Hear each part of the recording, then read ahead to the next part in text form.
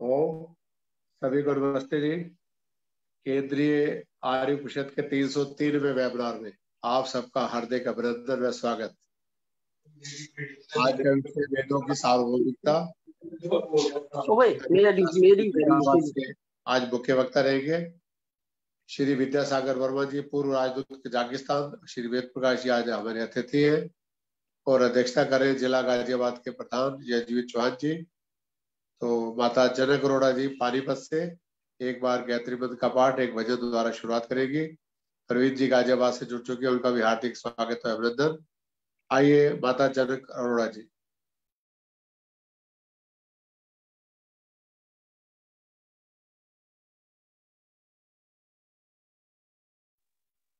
माता Janak Arora ji, mike on कर लो।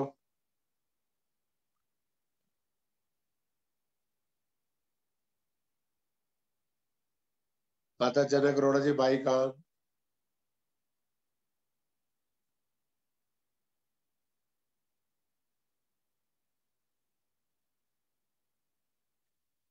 माता जी, पोते को बुलाओ।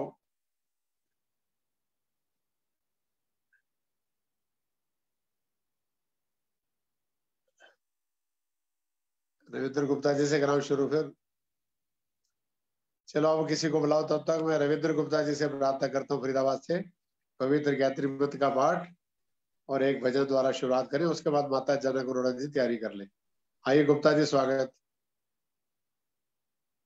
सभी श्रोताओं को मेरा नमन। नमस्ते जी। आइए गायत्री मंत्र का जाप करते हैं। ओम भूर्भुवा स्वाहा तत्सवितुर्वरेण्यम। भर्गो देवस्य धीमहि। धियो यो नः प्रचोदयात्। आइए एक प्रभु स्तुति का गीत प्रस्तुत है। हे नाथ दयालु हो। हे नाथ दयालु हो। बस इतनी दया कर दो। आया मैं शरण तेरी। आया मैं शरण तेरी। भक्ति के भाव भर दो। हे नाथ दयालु। तेरे रंग में रंग जाए। ये चंचल मन मेरा, रहे साफ़ ना हो धुंधला। मन का दर्पण मेरा, मन का दर्पण मेरा। हर शय में तुझे देखूँ। हर शय में तुझे देखूँ। मेरे देव यही वर दो। आया मैं शरण तेरी। भक्ति के भाव भर दो। हे नाथ दयालु हो कर के दूर तुझसे सदियों से मैं भटक रहा हो कर के दूर तुझसे सदियों से मैं भटक रहा नहीं पार में कर पाया। अभी भंवर में अटक रहा। अभी भंवर में अटक रहा। हो जाऊँ पार भव से। हो जाऊँ पार भव से। शक्ति जगदीश्वर दो। आया में शरण तेरी। भक्ति के भाव भर दो। हे नाथ दयालु हो। मरता और जीता हूँ। जी करके मरता हूँ। नो मास गर्भ की जेल। जाने से मैं डरता हूँ। जाने से मैं डरता हूँ। बंधन से छूट जाऊँ। बंधन से छूट जाऊँ। कुछ और नज़र कर दो। आया मैं शरण तेरी। भक्ति के भाव भर दो। हे नाथ दयालु हो।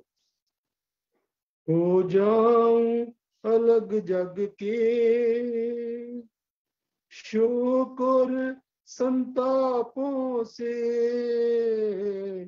करमठ ले बचा मुझको। दुर्गम और पापों से दुर्गुण और पापों से गाँव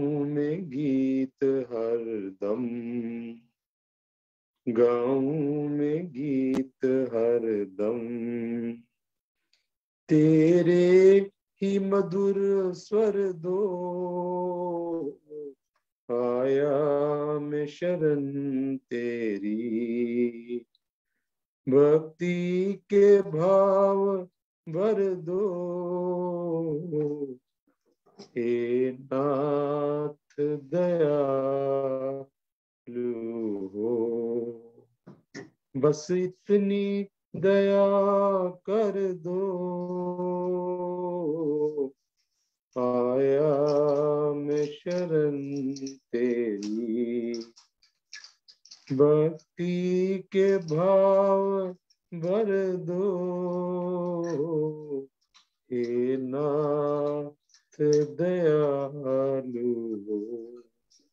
धन्यवाद जी समय देने के लिए। सुंदर विद्र गुप्ता जी तपोवन देहरादून से आपके बीच कार्यक्रम चल रहा है। महात्मा दयानंद जी महात्मा स्वामी जी की तपोस्थली से बोल रहा हूँ। अब मैं आमंत्रित करता हूँ जनक अरोड़ा जी पानीपत से एक मधुर भजन। नमस्कार अनिल जी सब भाई बहनों को मेरा नमस्कार। एक हम आज का जो विषय उससे मिलता जुलता भजन। वैदिक धर्म की जय हो। वैदिक धर्म की जय हो। भगवान की कृपा से संसार प्रेम में हो। वैदिक धर्म की जय हो। वैदिक धर्म की जय हो। भगवान की कृपा से संसार प्रेम में हो। मिल एक स्वर में बोले, सब वेद की ऋचाए पृथ्वी आकाश गूंजे गूंजे सभी दिशाएँ। मिल एक स्वर में बोले, सब वेद की दिचाए पृथ्वी आकाश गूंजे गूंजे सभी दिशाएँ। वेदों की ज्योत्सना से, वेदों की ज्योत्सना से त्रि त्रिभुवन प्रकाश में हो, वैदिक धर्म की जय हो, वैदिक धर्म की जय हो। भगवान की कृपा से संसार प्रेम में हो। वैदिक धर्म की जय हो। वैदिक धर्म की जय हो। घर घर में यज होवे, सुख वृष्टि ही सदा हो। नर नार स्वस्थ होवे, धन धान्य संपदा हो। घर घर यज्ञ होवे सुख वृष्टि ही सदा हो। नर नार स्वस्थ सारे तेरी बुला रही बात संपदा हो। देख लेगा कुछ गड़बड़ तो नहीं। आवाज़ नहीं आ रही? आ रही है जा रही बोलो। शुरू से ही नहीं आ रही आवाज़? आवाज़ आ रही है बोलिए। शुरू से आ रही आवाज़। घर घर में यज होवे, सुख वृष्टि ही सदा हो। नर नार स्वस्थ सारे, धन धान्य संपदा हो। आरोग्यता विराजे आरोग्यता विराजे, प्रत्येक ताप क्षय हो। वैदिक धर्म की जय हो। वैदिक धर्म की जय हो। भगवान की कृपा से संसार प्रेम में हो। वैदिक धर्म की जय हो। वैदिक धर्म की जय हो। सद्भावना परस पर ऊँचा चरित्र होवे। मन शुद्ध और निर्मल बुद्धि पवित्र होवे, सद्भावना परस पर ऊँचा चरित्र होवे। मन शुद्ध और निर्मल, बुद्धि पवित्र होवे। सबके लिए निरंतर, सबके लिए निरंतर, सब और से अभय हो। वैदिक धर्म की जय हो, वैदिक धर्म की जय हो। भगवान की कृपा से संसार प्रेम में हो, वैदिक धर्म की जय हो, वैदिक धर्म की जय हो। वर्णाश्रमी व्यवस्था स्वाधीन राज में हो गुण कर्म की महता मानव समाज में हो।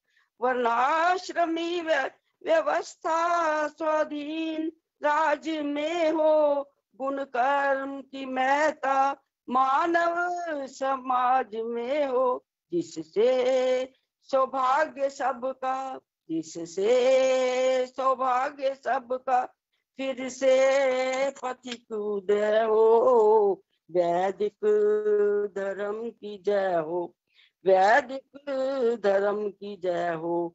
भगवान की कृपा से संसार प्रेम में हो। वैदिक धर्म की जय हो, वैदिक धर्म की जय हो, वैदिक धर्म की जय हो, वैदिक धर्म की जय धन्यवाद अनिल जी बहुत बहुत।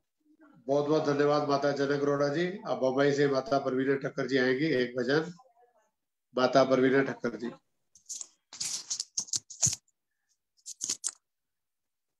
सभी को सादर नमन।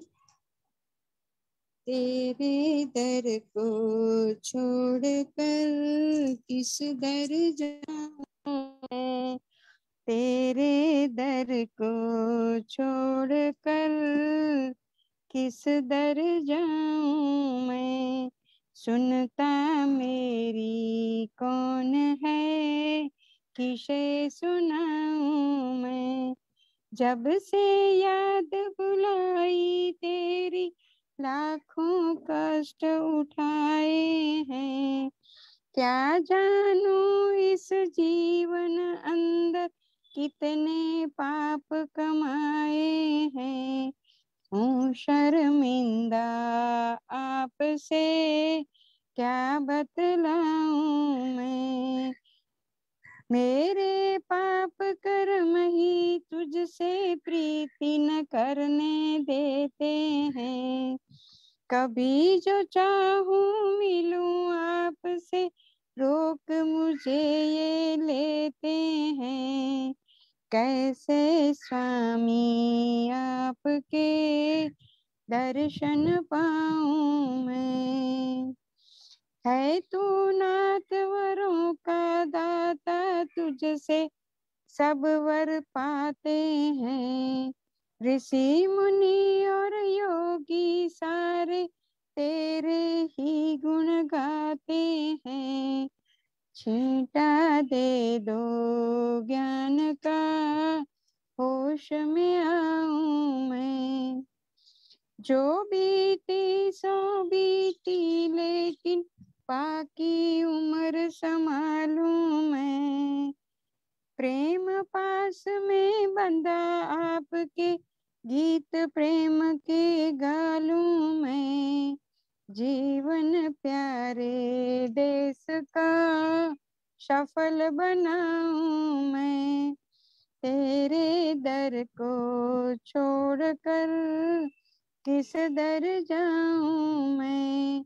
सुनता मेरी कौन है, किसे सुनाऊं बहुत बहुत धन्यवाद जी। बहुत सुंदर भजन, माता प्रवीण टक्कर जी, मुंबई से। बहुत बहुत स्वागत है अभिनंदन आज का कार्यक्रम महात्मा दयानंद जी महात्मानंद स्वामी जी की तपोस्थली, तपोवन देहरादून से चल रहा है।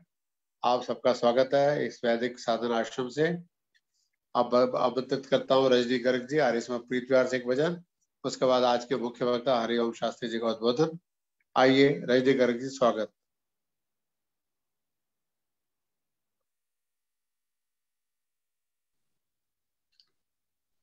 नमस्कार जी आप सभी को। स्वागत है रजनी जी।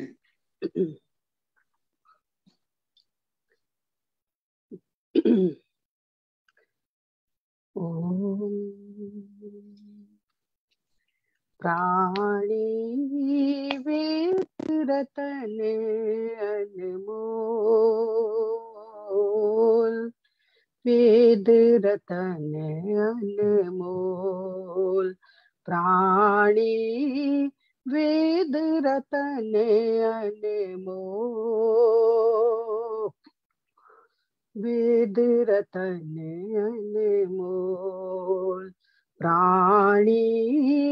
सत विद्या भंडी है। सत विद्या भंडार यही है। मोक्ष मंदिर का द्वार यही है। मोक्ष मंदिर का द्वार यही सब ग्रंथों का सार यही है। पल भर आँखें खोल, पल भर आँखें खोल, वेद रतन अनमोल। प्राणी वेद रतन अनमोल। वेद रतन अनमोल तुम्हें अविद्या ने भर माया। तुम्हें अविद्या ने भर माया।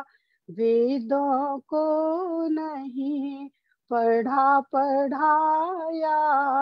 सब ग्रंथों को वेद बताया, ऊँचे वचन न बोल, ऊँचे वचन न बोल, वेद रतन अनमोल प्राणी वेद रतन अनमोल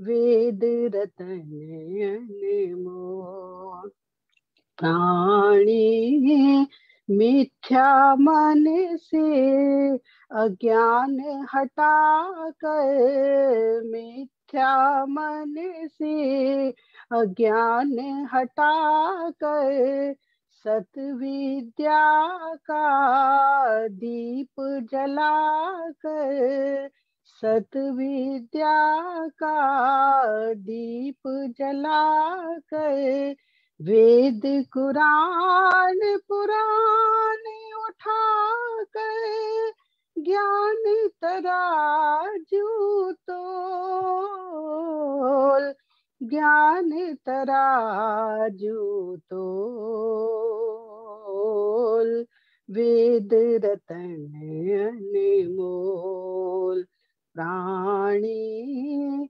वेद रतन अनमोल।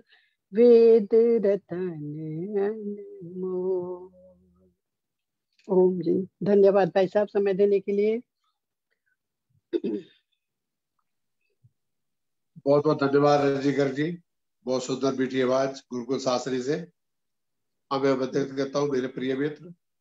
टंकारा के स्नातक डीवी स्कूल सेक्टर चौदह के पूर्व अध्यापक, आचार्य हरिओम शास्त्री जी, वेदों की सार्वभौमिकता पे अपना उद्बोधन देंगे। उसके बाद आज के मुख्य अतिथि विद्यासागर वर्मा जी, पूर्व राजदूत कजाकिस्तान आर्य समाज के कुछ कोटि के विद्वान है। आर्य समाज बीयूर फेस वन से संबंधित है। उनका उद्बोधन सुनेंगे। आइए हरिओम जी बहुत बहुत स्वागत है, अभिनंदन।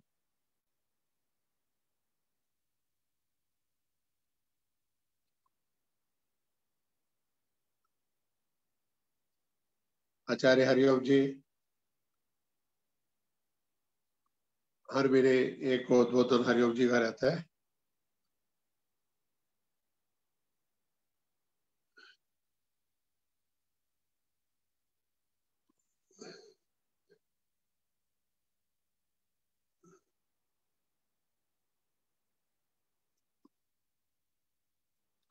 आचार्य हरिओम शास्त्री जी, आइए।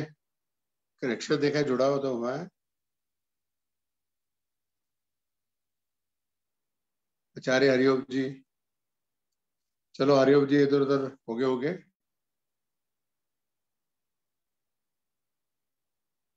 अच्छा उनको माइक ऑन नहीं हो रहा। हरिओम जी कनेक्शन काट के दोबारा जुड़िए। तब तक मैं एक भजन करा लेता हूँ। रैनी चौक जी से अनुरोध करूँगा, एक मधुर भजन सुना दे। जिसके साथ ये दिक्कत आती है चूप पे, वो अपने आप को हटा के फिर दोबारा जुड़ेगा तो कनेक्शन ठीक हो जाता है। आइए रजनीश चुक जी, एक भजन तब तक हरिओम जी दोबारा जुड़ते हैं।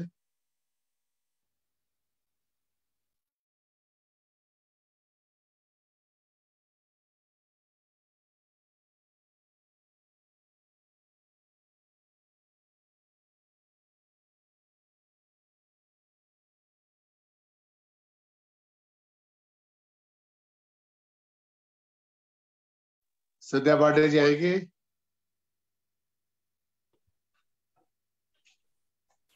हाँ जी नमस्ते सभी को मेरा। नमस्ते जी आइए स्वागत है। एक प्रभु भक्ति गीत। हे जगत पिता हे जग प्रभु। हे जगत पिता हे जग प्रभु। मुझे अपने नाम का दान दो। मुझे अपने मनाम का दान दो।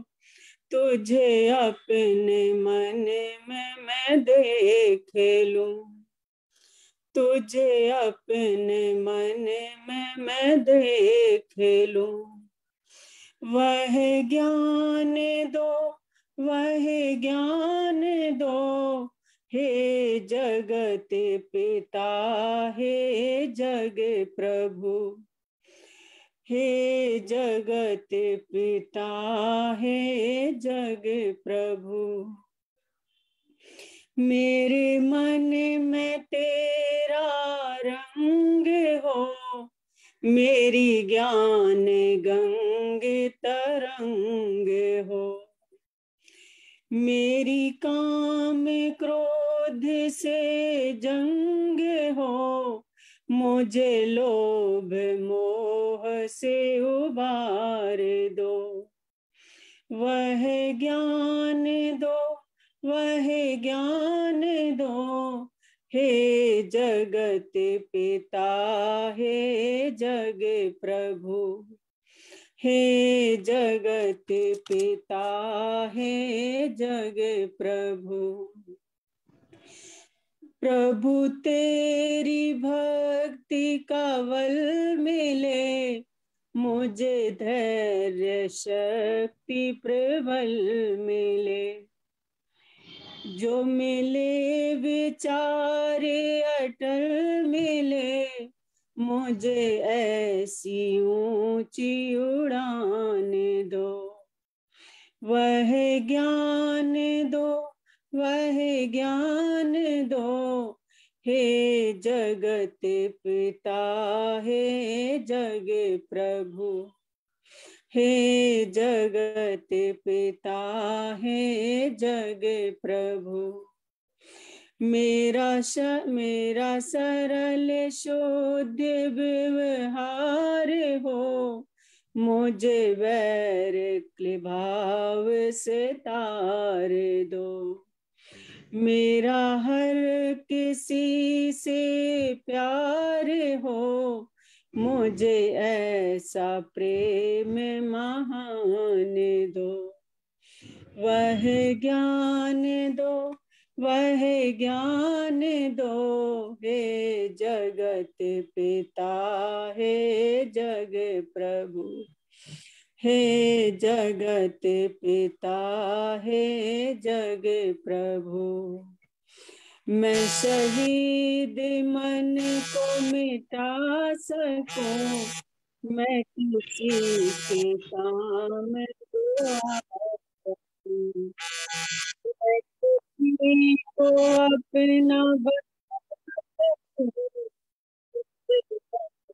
मधुर ज़ुबान दो वह ज्ञान दो वह ज्ञान दो, हे जगत पिता हे जग प्रभु, हे जगत पिता, हे जग प्रभु।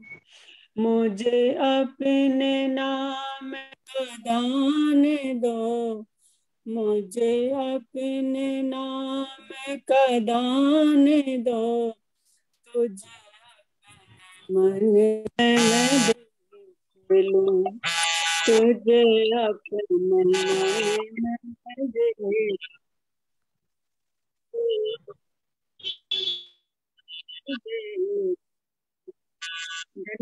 आपका बहुत बहुत बहुत धन्यवाद सज्जा पांडे जी। आरिस्मा कृष्णनगर दिल्ली। हम आज के मुख्य वक्ता हरिओम शास्त्री से प्रार्थना करूँगा कि माइक ऑन करें और जुड़े हमारे साथ। वो कोशिश तो कर रहे हैं। वो नेटवर्क दिक्कत होगी। आचार्य हरिओम शास्त्री जी, आइए।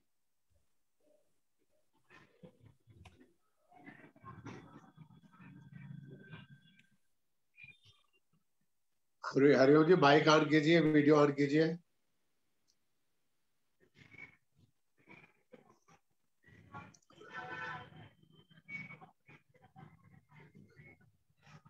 हरिओम जी तो भोपाल से भी जुड़ते रहे, आज क्या दिक्कत आ रही है?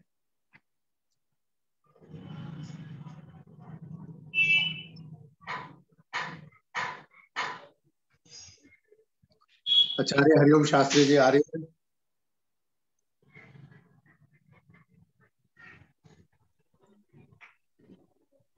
जी नमस्ते भाई साहब। नमस्ते जी। जी मैं बोलूँ एक भजन जब तक? जी इसके बाद ही मैं आज के मुख्य अतिथि विद्यासागर वर्मा जी से प्रार्थना करूँगा बीस मिनट के लिए। आज के विषय में पहले उद्बोधन वो देते हरिओम जी तब तक माइक ठीक कर ले उनका उद्बोधन बाद में सुन लेंगे।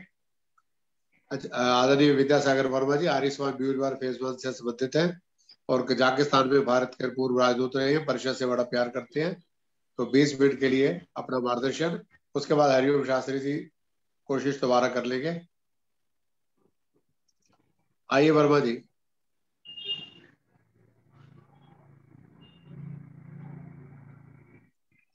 वर्मा जी बाइक ऑन कर लीजिए।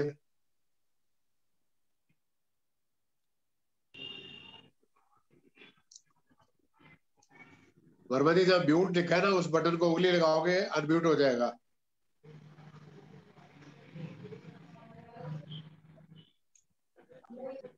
अनम्यूट करने के, के लिए एक बार देखो ना ऐसा तो छह बज जाएँगे।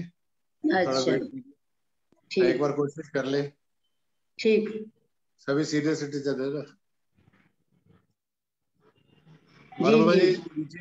पाँच आ रहे हैं निशान। पहला पहला म्यूट लिखा है। उसको उंगली लगाएँगे तो माइक अनम्यूट हो जाएगा। आप बोल रहे हैं कि हम सुनेंगे।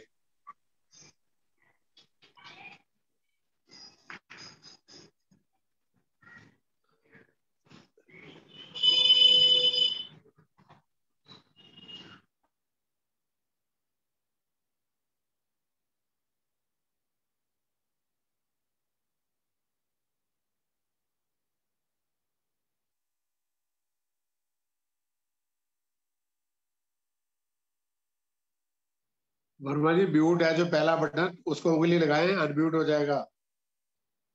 अब हो गया लगता है। हाँ स्वागत है। आज दिक्कत आ रही है कुछ। आवाज़ आ रही है? हाँ आ रही है। फ़ोटो भी ठीक है आवाज़ भी ठीक है। बीस मिनट के लिए अपना आज के विषय में मार्गदर्शन दें। वेदों की सार्वजनिकता उसके बाद हरिओम शास्त्री जी का उद्बोधन सुन लेंगे। ठीक।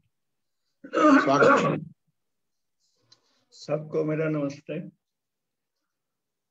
अनिल जी मैं पहले तो आपको बधाई देता हूँ। कि आप जो है ऐसे कार्यक्रम जो है समय समय पर करते रहते हैं और सबका आर्य जनों का मार्गदर्शन करते रहते हैं। आपने मुझे इस वेबिनार में आमंत्रित किया, उसके लिए मैं आपका धन्यवाद करता हूँ। तो विषय है वेदों में सार्वभौमिकता। वस्तुतः वेद है ही सार्वभौमिक। क्योंकि परमात्मा ने सृष्टि के आदि में मनुष्य मात्र के लिए ये ज्ञान दिया। तो क्योंकि मनुष्य मात्र के लिए है तो इससे सार्वभौमिक अपने आप ही हो जाता है। उसका मूल मंत्र ही यही है, मूल उपदेश ही यही है, मनुर्भव, के मनुष्य बनो। अब वो मनुष्य तो सभी के लिए फिर वो एप्लीकेबल हो जाता है, सबके लिए वो यानी के उपदेश है तो ये सार्वभौमिक ही है। दूसरी बात, हमारे यानी के इसमें कहा गया कृणवंतो विश्व मार्यम सारे संसार को जो है आर्य बनाओ। तो इसमें भी जो है, वो सार्वभौमिकता का संदेश है कि सारे संसार को आप श्रेष्ठ बनाए। अब एक मैं आपको यानी कि बड़ी सूक्ति जो है फ़ेमस है, बहुत सभी लोग उसके जानते हैं। माता भूमि पुत्रो अहम पृथ्वी कि पृथ्वी मेरी माता है सॉरी भूमि मेरी माता है और मैं पृथ्वी का पुत्र हूँ। अब एक ही लोग ज़्यादातर इसका ट्रांसलेशन या अनुवाद यही करते हैं कि पृथ्वी ये भूमि मेरी माता है और मैं इसका पुत्र हूँ। यहाँ पर दो शब्द इस्तेमाल किए गए हैं अलग अलग एक है भूमि और दूसरा है पृथ्वी। भूमि क्या है? भूमि मातृभूमि है। इनके भारत जो है, वो भूमि है, हमारी मातृभूमि है। परंतु हम पुत्र सिर्फ़ मातृभूमि के नहीं हैं, सारी पृथ्वी के पुत्र हैं। इसमें कितना बड़ा संदेश जो है पॉलिटिकल संदेश भी इसमें दिया हुआ है कि लोग ये भ्रमित ना हो कि सिर्फ़ अपनी भूमि के लिए, अपने देश के लिए वो कार्य करें और उसकी खुशहाली के लिए, सुरक्षा के लिए, सब किस्म के जो नेशनल इंटरेस्ट होते हैं, उसके लिए कार्य करें वो। परंतु वो ये मत भूल जाएँ कि मैं पुत्र सिर्फ़ अपनी भूमि का नहीं हूँ, मैं सारी पृथ्वी का पुत्र हूँ। अब यूएसए ने जो है वो इराक और लीबिया को जो है तहस नहस कर दिया। इसमें यही संदेश है कि आप संकुचित विचारों के साथ अपने देश की सुरक्षा वगैरह मत करो। सारी पृथ्वी को जो है आप अपनी के उसके पुत्र मानो उसके पुत्र होकर है उसकी आप रक्षा सुरक्षा और उसके हर प्रकार से वहाँ के रहने वाले लोगों की, संसार में रहने वाले लोगों की जो है, आप उनके वेलफेयर के लिए, उनकी खुशहाली के लिए काम करें। ये बहुत ही बड़ी संदेश जो है, इसमें दिया गया है। दूसरा जो है, इसमें आता है कि मित्र से हम चक्षुषा सर्वाणी भूतानी समीक्षे मित्र से चक्षुषा समीक्षा में है कि मैं सबको जो है मित्र की, संसार में सभी लोगों को मित्र की भावना से देखूँ और हम लोग भी सभी जो हैं, हमें भी मित्र की भावना से देखें। तो मित्रता का जो भाव है, वो इसमें परिलक्षित होता है। अब दूसरा एक मंत्र है कि यस्तु सर्वाणी भूतानि आत्मनैव अनुपश्यति सर्वभूतेषु चात्मान ततो न विचक्षति। के ये हम, ये सारी जो प्राणी हैं, सारे परमात्मा में वास कर रहे हैं। मैं भी परमात्मा में वास कर रहा हूँ, आप भी परमात्मा में वास कर रहे हैं। और इस भाव से आपको यानी कि व्यवहार करना चाहिए कि हम सब प्राणी जो हैं, एक जैसे हैं, सभी आत्माएँ एक जैसी हैं। ना कोई बड़ी है, ना कोई छोटी है, सभी परमात्मा के पुत्र हैं और सबके साथ व्यवहार जो है हमारा मित्रता पूर्ण होना चाहिए, भाईचारे का होना चाहिए। अगर हम वो करते हैं तो किसी प्रकार की संसार में दुख की और ये जो समस्याएँ खड़ी हो जाती हैं एक्सप्लोइटेशन जो, यानी कि हम एक दूसरे की करते हैं, वो हम कभी नहीं कर पाएँगे। जब हम ये माने कि हम परमात्मा के, ईश्वर के ही पुत्र हैं और हम सभी भाई भाई हैं। इसमें एक और मंत्र है अथर्वेद का मंत्र है, कि जन्म विभर्ति बहुधा विवाच सम नाना धर्मानम धर्मणम, पृथ्वी यथोक्षम कि ये जो सारी पृथ्वी है, कि किसी व्यक्ति यानी कि समाज विशेष के लिए नहीं है, किसी जाति विशेष के लिए नहीं है, ये सभी के लिए है। वनम, जन्म विभर्ति बहुधा विवाचसम। बहुत प्रकार की बोलियों को, बहुत प्रकार की लैंग्वेजेस बोलने वाले लोगों को ये पृथ्वी जो है, उनका भरण करती है। और दूसरा, नाना धर्मनम पृथ्वी यथोक्षम नाना प्रकार के धर्म धर्म क्योंकि वो हम उस रिलीजन के सेंस में हमें धर्म नहीं लेना चाहिए, क्योंकि वो तो आए ही बाद में है। धर्म जो है, इसका मतलब स्वभाव से है। हर किस्म के लोग रहते हैं, हर प्रकार के स्वभाव के लोग होते हैं, अच्छे भी हैं, बुरे भी हैं।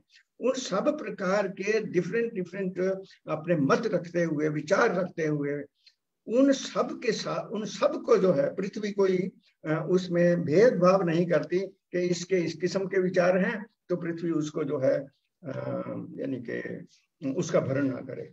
तो इसलिए वेद में मंत्र आया है कि ये पृथ्वी जो है, हर प्रकार के लोगों को, हर प्रकार के स्वभाव के लोगों को, हर प्रकार की मान्यताओं के लोगों को जो है, और हर प्रकार की भाषाओं को बोलने वालों को सबका जो है, वो भरण करती है। तो इसमें भी जो है, आप देखें कि ये पृथ्वी जो है, वो सारे संसार के लिए है, किसी विशेष जाति के लिए या देश के लिए। नहीं है। इन चीज़ों का हमें ध्यान रखना चाहिए। और एक मंत्र और है जो हम सभी लोग जो हैं भोजन करते समय बोलते हैं। ओम अन्नपते अन्नस्य नोदहि, अन्नमेवस्य सुष्मिना परप्रदातारम तारिश्व ऊर्जम नोदहि द्विपदे चतुष्पदे। देखिए ये मंत्र कितना गहन है। ये कहते हैं अन्न पते अन्न से हे अन्न के स्वामी परमात्मा हमें अन्न दीजिए। यहाँ देखिए इसमें मंत्र में न न का मतलब न संस्कृत में आ, हमारे लिए लोगों को मोर देन वन न हमारे। हमें दीजिए। ये अन्न से नो दे ही हमें अन्न दो। हम कौन? हम घर के लोग जो के यहाँ पर बैठे हुए खाना खाने के लिए तैयार बैठे हैं, उन सबको अन्न दो। अन्न से नो दे अन्न में बस सुष्मणा यही जो है, अन्न जो है, हमारे शरीर की ऊर्जा देने वाला है। फिर क्या कहते हैं? अन्न में वसु सुष्मणा प्रदातारम तारिश्व ऊर्जम, ये ऊर्जा देने वाला है। नो देही, ध्यान दीजिए। नो देही, दोबारा ना आया है या न शब्द। हमारे लिए। हमारे लिए या नहीं? सिर्फ़ हम। कौन से हम? यहाँ पर प्राणी, यानी के सब मनुष्य मात्र की बात हो रही है। वहाँ पर सिर्फ़ फैमिली की बात हुई है। नो दे ही फिर द्विप दे, दो पैरों वालों को, यानी के पक्षियों को दो चतुष्पदे चार पैरों वालों को दो। इससे ज़्यादा जो है, हम जब पशुओं के लिए, पक्षियों के लिए, मानव मात्र के लिए सारी ये प्रार्थना कर रहे हैं अपनी इस प्रार्थना के साथ। तो कितना बड़ा जो है इसमें सार्वभौमिकता इन्वॉल्व है। और मैं ये मंत्र जो है आमतौर पर आ, आ, ये जो लोग कहते हैं कि कि यज्ञों में जो है पशुओं की बलि दी जाती थी उसके लिए मैं हमेशा इसको इस्तेमाल करता हूँ कि ये यजुर्वेद का मंत्र है। कर्म कांड यजुर्वेद में है, सारे यज्ञों का विधान यजुर्वेद में है। अगर यजुर्वेद में हम पशुओं की, पक्षियों की को अन्न देने की प्रार्थना कर रहे हैं तो ये कैसे हो सकता है कि हम उन्हीं पशुओं को काट करके उनकी जो है वो बलि चढ़ाई जाए? तो इस प्रकार के मेरे ख्याल में काफ़ी समय हो गया है। तो मैं अब अपनी वाणी को विश्राम देता हूँ। तो वेद जो है, सार्वभौमिक हैं, सभी मानव मात्र के लिए हैं और उनकी शिक्षाओं पर चल करके ही संसार का कल्याण है। ओम बहुत बहुत धन्यवाद आज के मुख्य अतिथि, आदरणीय श्री विद्या सागर वर्मा जी, पूर्व राजस्थान राजदूत कजाकिस्तान, आपने अपना मूल्य समय दिया। आपका लाभ आगे भी लेते रहेंगे। आपके धर्मपति सुधा वर्मा जी भी, आर्य युवती परिषद की उपाध्यक्ष रही और परिषद की अपार सहयोगी रही। मैं सुधा वर्मा जी को भी स्मरण करता हूँ। और आज के मुख्य वक्ता आचार्य हरिओम शास्त्री से प्रार्थना करूँगा कि वो 20-25 मिनट के लिए अपनी बात रखेंगे। हरिओम शास्त्री जी। आपका बहुत बहुत धन्यवाद। आ, मेरी आवाज़ आ रही है अनिल जी? आवाज़ आ रही है जी बोलिए। परमात्मा ने कहा बाद में बोलोगे। जी वो आज तो ना माइक ऑन हो रहा था और ना ये दृश्य दिखाई दे रहा था वीडियो का ही। वर्मा जी को पहले बोलना था इसलिए सारा कुछ हो रहा था। जी ठीक है। बोलिए। ओ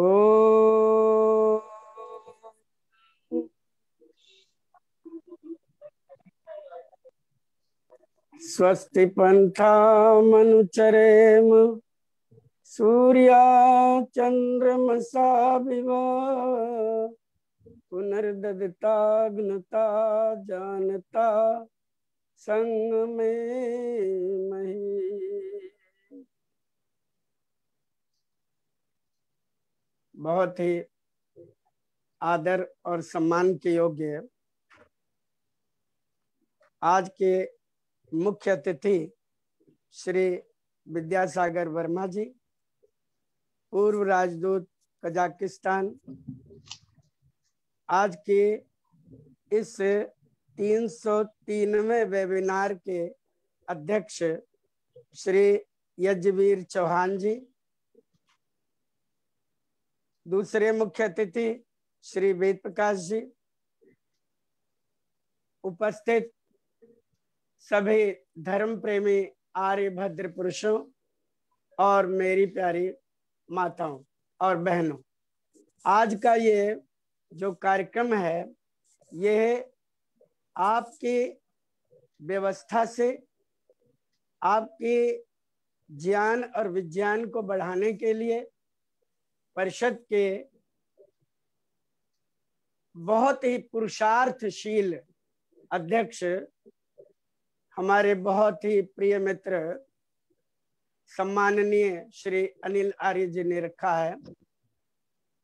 इसको इस रूप में देखना चाहिए कि परमात्मा ने हमें एक सौभाग्य दिया। और उस सौभाग्य के अंतर्गत आज हम जिन विषयों का पाठ करते हैं, जिन विषयों को सुनते हैं, अगर उनको अपने जीवन में थोड़ा बहुत भी हम अपनाएँ तो निश्चित रूप से हमारा कल्याण हो सकता है। उन्हीं में एक विषय है जो आज का बहुत ही सुंदर विषय रखा है, वेदों की सार्वभौमिकता। पहले तो ये समझें, ये सार्वभौमिकता क्या चीज़ होती है? सार्वभौमिकता शब्द जो है, वो निकला है सर्वभूमि से। सर्वभूमि से। जैसे भूत से भौतिक शब्द बनता है, देह से दैहिक शब्द बनता है आत्मा से आत्मिक शब्द बनता है, मास से मासिक शब्द बनता है, ऐसे ही सर्वभूमि से सार्वभौमिक शब्द बनता है सार्वभौमिक का मतलब होता है कि सभी भूमियों में, सभी स्थानों पर, सभी देशों में, सभी कालों में जिसकी मान्यता हो, वो प्रमुख माना जाता है। आप तो समझ रहे हैं, आप, उनको तो पता है कि इस ब्रह्मांड में वही सर्वभूमि के लिए उपयुक्त होता है वही सबके लिए उपयुक्त होता है, जो सबसे प्राचीन होता है। सबसे प्राचीन जो चीज़ है, वो निश्चित रूप से सर्वभूमियों के लिए होती है। अब सर्व प्राचीन ग्रंथों में क्या है, ये देखिए। पृथ्वी की सर्व, सार्वभौमिकता है। जैसे पृथ्वी भारत में अन्न उपजाती है, ऐसे वो मध्य पूर्व में भी अपना उपजाती है, ऐसे वो यूरोप में भी उपजाती है ऐसे वो अमेरिका महाद्वीप में भी अपना उपजाती है। जल जैसे भारत में, इस भारतीय उपमहाद्वीप में लाभकारी है, मीठा है, स्वास्थ्यवर्धक है, जीवन रक्षक है, ऐसे पूरे ब्रह्मांड में है। ऐसे ही अन्न है, ऐसे औषधियाँ हैं, ऐसे ही बादल हैं, ऐसे वर्षा है, ऐसे ठंडक है, ऐसे ही गर्मी है। ऐसे ही सूर्य है, ऐसे ही चंद्र है, ऐसे ही तारे हैं। जैसे भूमि के लिए, भारत भूमि के लिए सब लाभदायक है, भारत भूमि के लोगों के लिए ऐसे ही ये सब दूसरे भी भूमियों के लिए लाभदायक हैं। चाहे वो दक्षिण अमेरिका हो, चाहे वो उत्तर अमेरिका हो, चाहे वो यूरोप हो, चाहे वो एशिया हो, चाहे अफ्रीका हो, चाहे वो कुछ भी हो, कोई भी महाद्वीप हो, ऑस्ट्रेलिया हो, इसी प्रकार से वेद भी सारी भूमियों के लिए महत्वपूर्ण होते हैं। उनको किसी एक भूमि के लिए बाँध कर नहीं रखा जा सकता है कि ये भारत के लिए ही है, बाकी किसी के लिए नहीं है। मैं आपको एक निवेदन करूँ कि आज तक जितने भी वेद भाष्यकार हुए हैं, उनके विषय चाहे कोई और हो, विचार कैसे भी रहे हों लेकिन उन्होंने वेदों की सार्वभौमिकता से कभी भी मना नहीं किया, कभी भी मना ही नहीं की और इसमें कौन कौन से हैं? देखिए, सायण हैं, आचार्य सायण, उवट हैं, महीधर हैं, कीथ हैं, ग्रिफिथ हैं, मैक्स मुलर भी हैं, स्वामी दयानंद सरस्वती महाराज हैं, स्वामी वेदानंद जी महाराज हैं, पंडित हरिशरण सिद्धांतालंकार हैं स्वामी समर्पणानंद जी महाराज हैं और स्वामी ब्रह्म मुनि जी। इतने सब जने वेदों के भाष्यकार हुए हैं। कुछ हमारी परिपाटी में ठीक बैठते हैं, कुछ नहीं बैठते लेकिन जिन्होंने भी, चाहे वो पश्चिम के भाष्यकार कीथ ग्रिफिथ आदि हो, और चाहे भारत के भाष्यकार, चाहे सायण आदि हो, स्वामी दयानंद सरस्वती हो पंडित हरिशंकर सिद्धांत अलंकार हो, कोई भी हो। लेकिन उन्होंने वेदों की सार्वभौमिकता से कभी भी इनकार नहीं किया। वो कहते हैं, किसी एक भूमि का नाम वेद में नहीं आया। किसी एक भूमि का नाम नहीं कहीं भारत भूमि का ज़िक्र नहीं है। एक वेद मंत्र है, बड़ा प्रसिद्ध मंत्र है। आप लोग जानते भी होंगे, सुना भी होगा आपने। माता भूमि पुत्रो हम पृथ्व्या।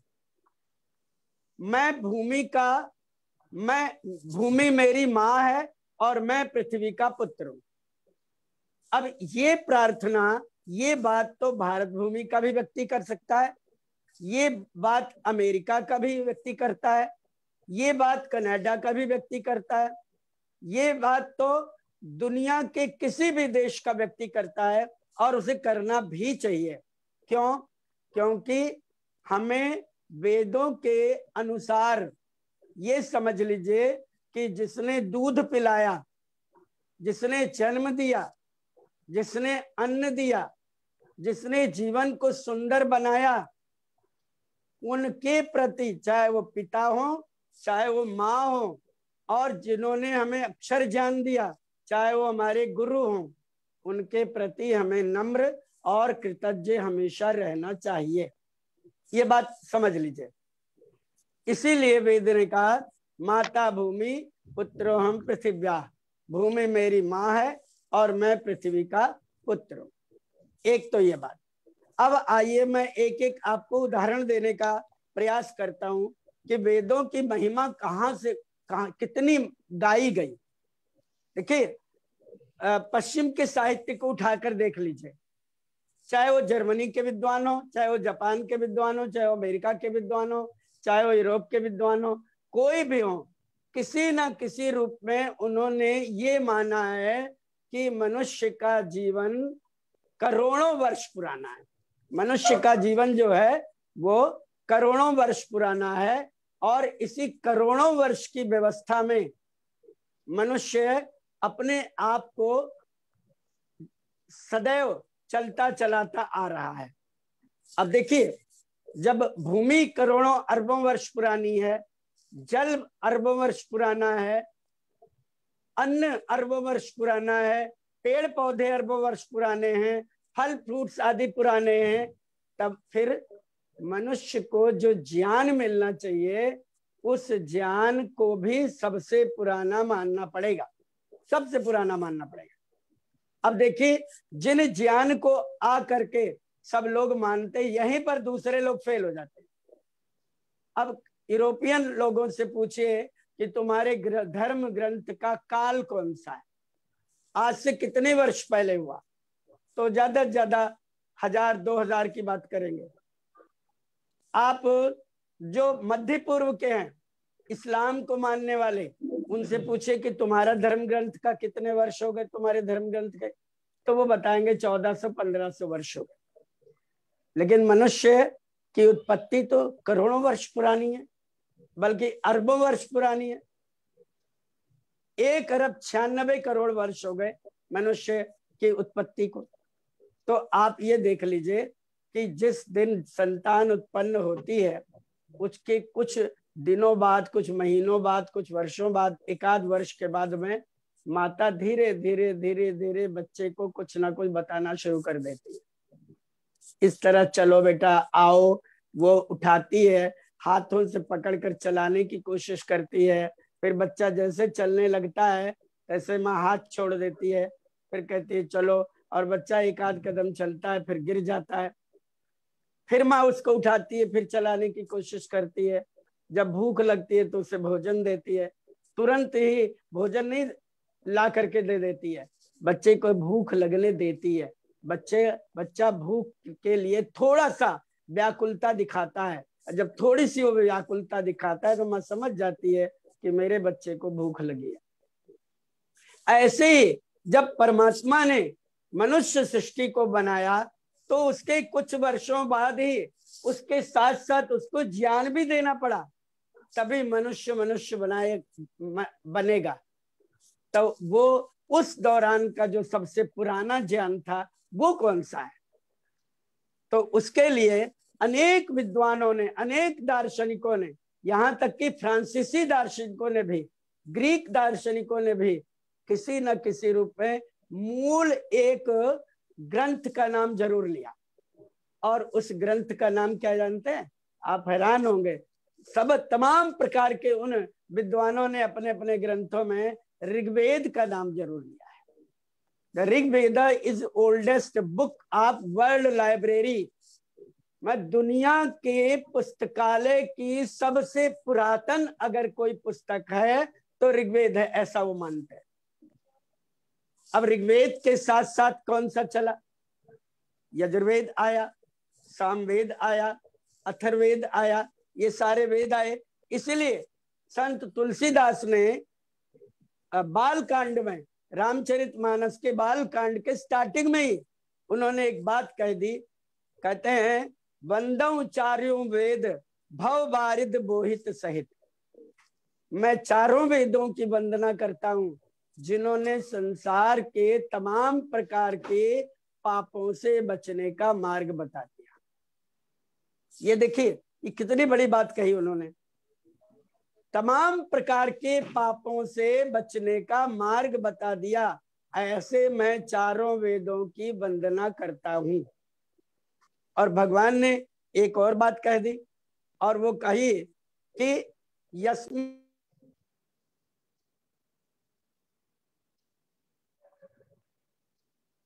सर्वमोतम प्रजानाम तन्मे मना शिव संकल्प मस्तु देखिए इन्होंने एक बात कह दी, और वो क्या कह दी? कदी यस्मिन ऋचा साम यजुंसी, यस्मिन प्रतिष्ठिता रथना भाविवारा, जैसे रथ के पहिए में चारों ओर छोटे छोटे छोटे छोटे लकड़ी के लगे रहते हैं ना, जैसे रिम में तीलियाँ लगी रहती हैं साइकिल के रिम में या मोटरसाइकिल के रिम में तो वो तीलियाँ क्या करती हैं? वो धुरे के साथ में उस पूरे पहिए को जोड़ कर रखती है।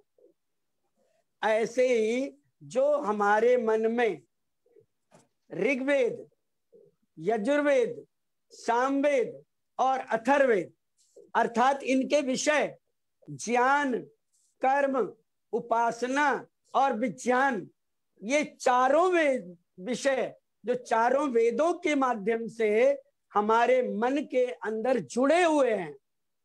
ध्यान रखिए, अगर ज्ञान नहीं है तो मनुष्य कोई कर्म नहीं कर पाएगा। कोई कर्म नहीं कर पाएगा। अज्ञानता होती है तो अकर्म करता है, विकर्म करता है, कुकर्म करता है।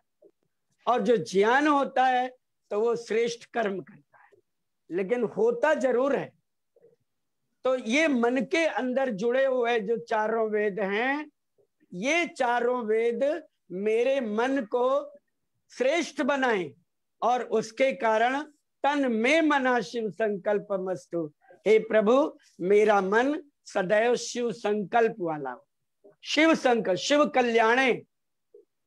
स्वामी दयानंद सरस्वती जी महाराज ने इस शिव शब्द का अर्थ करते हुए कहा है, शिव अर्थात कल्याणकारी।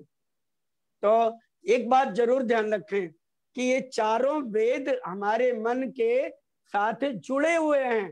और इन्हीं का जब प्रभाव होता है अच्छा प्रभाव होता है तो हम अच्छा काम करते हैं। और जब कभी बुरा प्रभाव हो जाता है ना, दुष्कर्म का, वेदों की बात हम नहीं मानते, और दुष्कर्म को लेकर चल लेते हैं, समाज को लेकर चल देते हैं, अपने मित्रों को लेकर चल देते हैं, देश के और सामान्य लोगों को लेकर चल देते हैं तो फिर बुराई करते हैं, बुराई करते करते हैं, उसके बाद पछतावा होता है। क्यों? क्योंकि ये ज्ञान रूपी चारों वेद हमारे मन में पहले से स्थित है। तो पछतावा होता है, हमने गलत कर दिया। बहुत गलत कर दिया। ऐसा मुझे नहीं करना चाहिए था। और फिर यदि मन को अपने अच्छा बना रखते हैं तो तुरंत क्षमा याचना करते हैं। सॉरी, हमसे गलती हो गई। क्षमा कीजिए, आगे से नहीं होगा और अगर मन के अंदर इन वेदों के संस्कार कम हुए और दूसरे दुर्गुण और दुर्व्यसन के संस्कार ज़्यादा हुए तो व्यक्ति गलती पर गलती करता जाता है और उसे पता ही नहीं चलता कि तूने गलती कर दी। और फिर जब आप उसको टोकते हैं तो एकदम वो उलझ पड़ता है। वो और गुस्सा हो जाता है। तुम कौन होते हो टोकने वाले? मैं तुमसे अधिक विद्वान। ये छोटी बात मैं नहीं कर रहा हूँ। मैं बड़ी बड़ी बातों, लोगों को भी बात कर रहा हूँ। काशी में शास्त्रार्थ हुआ। काशी में शास्त्रार्थ आपको एक उदाहरण देता हूँ। स्वामी दयानंद एक तरफ़, काशी के तमाम विद्वान एक तरफ़, तमाम विद्वान एक तरफ़। और सारी बातों का उत्तर स्वामी दयानंद ने दिया। और एक जब विद्वानों को लगा कि अब काशी के विद्वानों को लगा, अब हार जाएँगे, उधर काशी के राजा ईश्वरी साध नारायण सिंह का दबाव था आचार्य विशुद्धानंद के ऊपर। बाल शास्त्री के ऊपर, तमाम विद्वानों के ऊपर कि तुम इतनी मोटी मोटी दक्षिणाएँ लेते हो जिन चीज़ों के लिए, जिन मूर्ति पूजा के लिए, श्राद्ध के लिए, इन सब चीज़ों के लिए, वो अगर विफल हैं तो देखो तुम्हारा हाथ से बंद हो जाएगा ये सब। मोटी मोटी दक्षिणाएँ बंद हो जाएँगी। इसलिए एन के इन प्रकार उन विद्वानों ने कपट करने को सोचा, कपट करने को सोचा। एक छोटा सा कागज़ पर लिख करके कुछ दे दिया। और शाम का वक्त था, लगभग छह छह, साढ़े छह, सात बजे का समय था। काशी शास्त्रार्थ हो रहा था, अंधेरा था। इस समय इतनी लाइटें नहीं हुआ करती थी। उस समय इतनी लाइटें नहीं थी। फिर तो क्या बना? तो उसका ये रूप रहा। हाँ उसका ये चलिए कोई नहीं, ये आज लगता है, कुछ गड़बड़ है। तो उसका ये रूप रहा कि उन्होंने एक छोटा सा पर्चा सा लिख करके दिया कहते ये पढ़ो। और स्वामी जी जैसे पढ़ने लगे, तैसे उन विद्वानों ने जितने लोग आए हुए थे, उनको भी तुरंत ही एक उठा दिया और कहने लगे, स्वामी दयानंद, हार गए, स्वामी दयानंद, हार गए, स्वामी दयानंद को तो पढ़ना भी नहीं आता, इन्होंने तो कुछ किया ही नहीं, इनको प्रश्न का उत्तर नहीं आता। और उसका परिणाम यह हुआ कि स्वामी दयानंद के ऊपर अज्ञानी जो लोग आए थे, जो पीछे बैठे हुए थे, उन्होंने पत्थर फेंके। उन्होंने कंकड़ फेंके, मिट्टी के ढेले फेंके, पता नहीं क्या क्या फेंका। बड़ी बेइज्जती की। और ये बात आज आप गूगल पर भी पढ़ लेना। आज काशी शास्त्रार्थ में स्वामी दयानंद के शास्त्रार्थ के नाम से गूगल पर जो है, आप उसको पढ़ लेना। आपको ये, यही का यही मैटर मिलेगा जो मैं बता रहा हूँ। अब मैं लिखने की कोशिश करूँगा कुछ दिनों में कि ये बात गलत है और उसको प्रूफ के साथ मैं दूँगा और गूगल को दूँगा ज़रूर। आप लोग लाइक करिएगा। निश्चित रूप से गूगल तो वही देगा जिसको ज़्यादा लोग लाइक करेंगे। शाम को और आपको बताऊँ, जब रात हो गई, शास्त्रार्थ समाप्त हो गया तो काशी के राजा जो थे, ईश्वरी प्रसाद नारायण सिंह, अनिल जी, आप भी ध्यान से सुनिएगा। वो गए स्वामी दयानंद के पास। जहाँ आनंद वाटिका में स्वामी दयानंद ठहरे थे, वहाँ गए और देखने के लिए गए कि वो स्वामी दयानंद की स्थिति क्या है? क्या स्वामी दयानंद इस समय क्या कर रहे हैं? तो जब वो वहाँ पर पहुँचे तो देखा तो ऋषि दयानंद ईश्वर का ध्यान कर रहे थे, चिंतन कर रहे थे, समाधि में थे। और जब वो बैठे रहे बड़ी देर तक, उसके बाद जब स्वामी जी की समाधि टूटी और देखा कि सामने बैठे हुए राजा। तो कहने लगे, महाराज, आपका धन्यवाद, आप कैसे पधारे? तो कहने लगे, स्वामी जी, ऐसे मैं आपको देखने आया था, आपका आशीर्वाद लेने आया था। तो स्वामी जी कहने लगे, ठीक है, चलो थोड़ा सा घूम लेते हैं। घूमते घूमते स्वामी जी ने उनको वेदों के कुछ मंत्र बताए, कुछ मंत्रों के पाठ बताए। और जिन मंत्रों को बताया वो मैं अभी आपके सामने वर्णन करूँगा। और पूरे एक घंटे, डेढ़ घंटे तक स्वामी जी राजा के साथ थे, पर महाराज के सामने उन्होंने उस शास्त्रार्थ का बिल्कुल ज़िक्र नहीं किया। बिल्कुल ज़िक्र नहीं किया कि क्या हुआ, क्या नहीं हुआ। आपको हैरान हो गए, आप आश्चर्य होगा आप गूगल पर पढ़िएगा। ईश्वरी प्रसाद नारायण सिंह महाराज काशी के वो वचन उन्होंने लिखा है कि मैं स्वामी दयानंद के आगे नतमस्तक हूँ। काशी के विद्वानों ने उनसे जो छल कपट किया, उसके लिए मैं शर्मसार हूँ। मैं लज्जित हूँ। स्वामी जयानंद जैसा इतना महान व्यक्ति उसके साथ इस तरह का कार्य नहीं करना चाहिए था। मैं गया तो था देखने कि स्वामी दयानंद तड़प रहे हैं, दुखी हो रहे हैं शिकायतें करेंगे, परेशान होंगे कि क्या होगा। और यहाँ आकर देखता हूँ तो स्वामी दयानंद सरस्वती महाराज वैसे ही प्रसन्न मुद्रा में, वैसे ही चेहरे पर आनंद की धारा बहती हुई, एक शब्द भी उन्होंने शिकायत का नहीं किया। इतने महान व्यक्ति। मातृशक्ति और भद्र पुरुषों मैं आपको निवेदन बस करने को यही कहूँगा कि स्वामी दयानंद ने वेदों की जो सार्वभौमिकता की बात की, वो यही की कि सार्वभौमिकता मतलब सारी भूमियों में, सारी दुनिया की भूमि में, किसी भी देश में वेदों का नाम हो, वहाँ पर सर्वोच्च ग्रंथ ही माना जाएगा। आपको एक और बता दूँ, आप हैरान रहेंगे। हमारे यहाँ जो है, वो डीएवी के उप प्रधान भी रहे हैं सिंघवी साहब, लक्ष्मीमल सिंघवी, वो ब्रिटेन में भारत के उच्चायुक्त थे।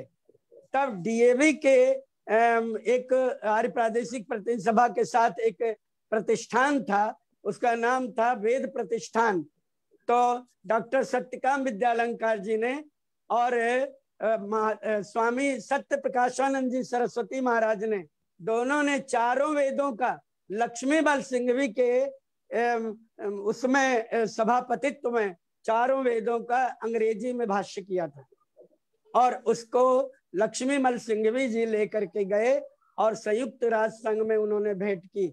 आज भी न्यूयॉर्क में संयुक्त राष्ट्र संघ के ऑफ़िस में सबसे पहले अगर आप देखोगे तो वही वेद प्रतिष्ठान नई दिल्ली के द्वारा प्रकाशित इन्हीं दोनों विद्वानों द्वारा भाष्य किया हुआ अंग्रेज़ी के चारों वेदों का भाष्य वहाँ रखा हुआ है और वही लिखा हुआ है कि Rigveda is oldest book of world library मैंने वहीं से शब्द लिया। चार, जब, जो भी व्यक्ति वहाँ जाता है संयुक्त राष्ट्र के ऑफ़िस में तो सबसे पहले उन वेदों के दर्शन करता है। मातृशक्ति और भद्र पुरुषों, इसलिए मैंने आपको कहा कि सार्वभौमिकता के लिए वेद का एक भी मंत्र देख लीजिए। जैसे एक मंत्र, गायत्री मंत्र महामंत्र है। आप देखिए, इसमें क्या कहा गया है? भूर्भुव स्व तत् वरेण्यम सवितु देवस्य भर्गा धीमई या न धिया प्रचोदयात। हे प्राण स्वरूप प्रभु, आप ही दुख हरता है, आप ही सुखदाता है। हम आपके उस वरण करने योग्य, तेज का ध्यान करते हैं जो तेज हमारी बुद्धियों के सत्कार्यों में प्रेरित करे। अब बताइए, ये प्रार्थना कौन से देश का व्यक्ति नहीं कर सकता? किस देश के व्यक्ति के लिए मनाई है? क्या वो यूरोप के लोगों के लिए मनाई है? वो बुद्धि की प्रार्थना नहीं करेगा? क्या भारत के लोगों के लिए मनाई है कि वो बुद्धि की प्रार्थना नहीं करेगा? ऑस्ट्रेलिया का व्यक्ति नहीं करेगा? यूरोप का व्यक्ति नहीं करेगा? अमेरिका का व्यक्ति नहीं करेगा? कौन से देश का व्यक्ति नहीं करेगा कि मैं प्रार्थना, मुझे भगवान बुद्धि मत दे? ऐसे ही ओम विश्वानी देव है।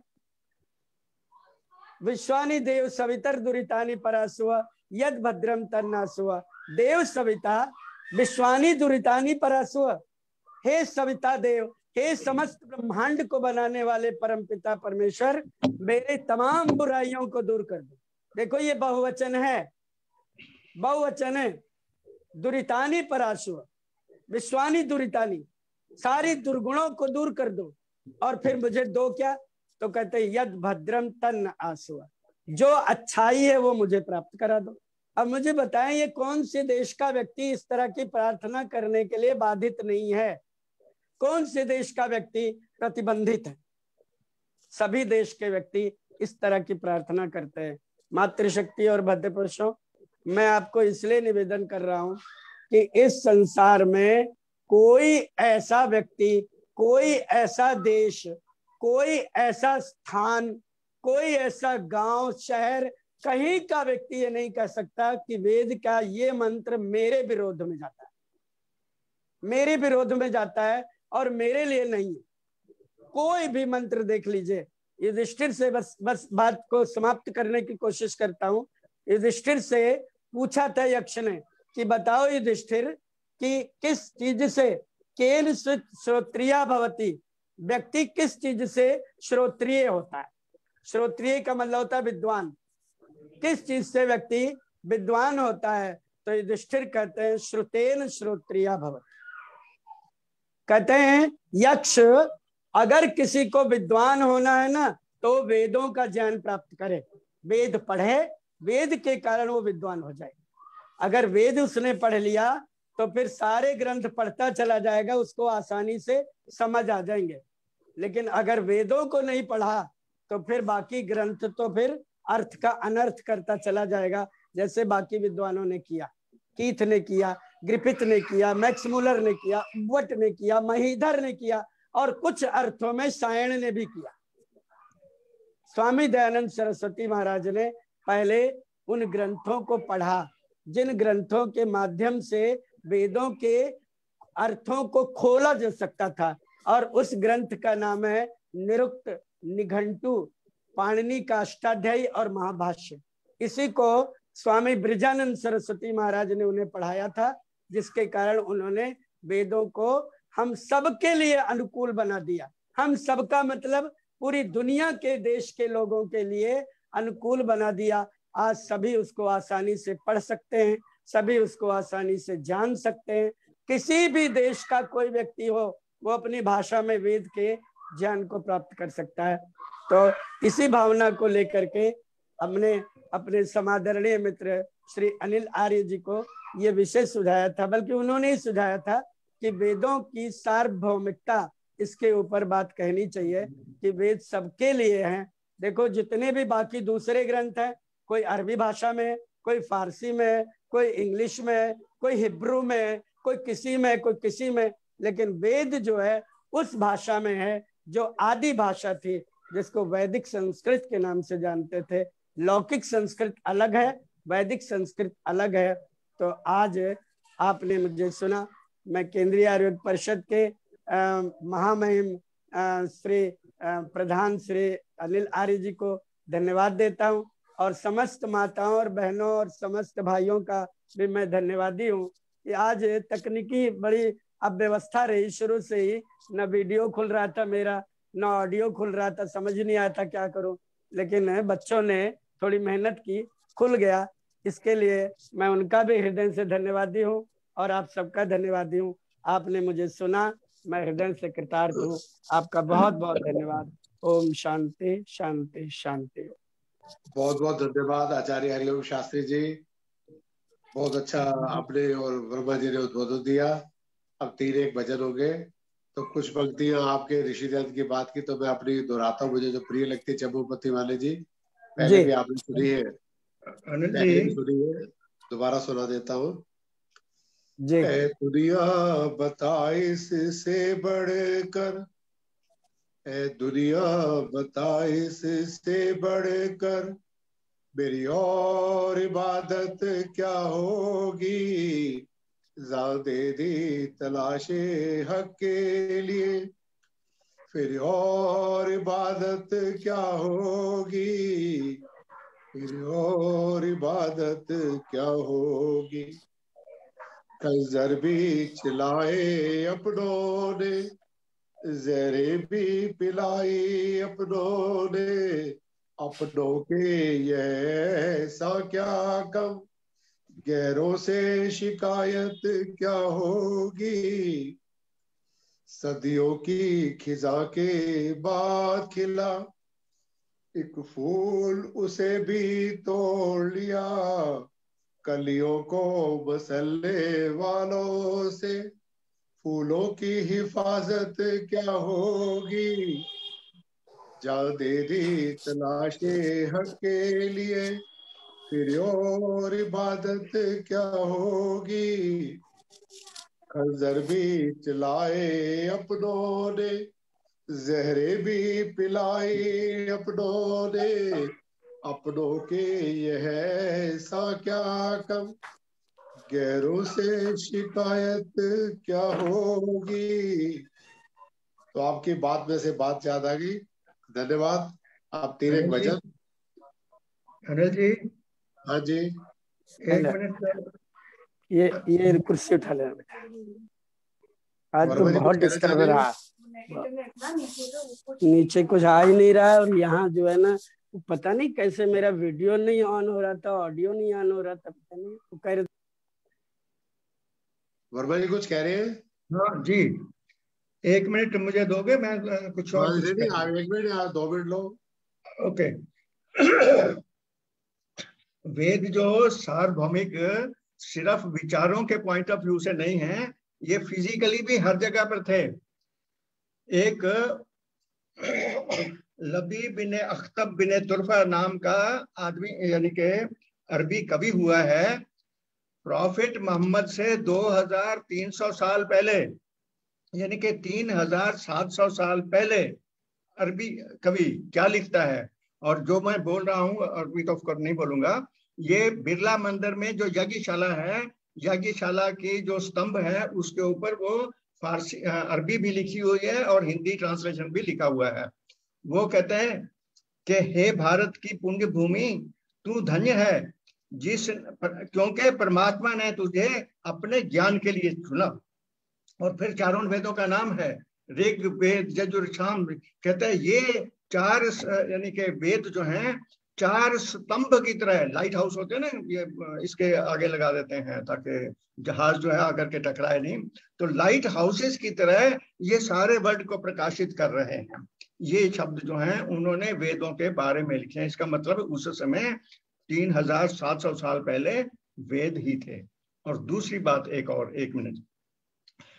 ये मैक्स मूलर को जिस जिस साइंटिस्ट ने माइक्रोफोन माइक क्या कहते हैं ये जो गोल गोल चलता है क्या कहते हैं उसको?